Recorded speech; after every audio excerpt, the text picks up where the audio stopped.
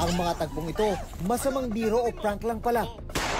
Ano nga ba ang kanilang mga pananagutan? Sa mga pagkakataong pulis ang sangkot sa gulo, napapanagot din kaya sila. Reporter's Notebook.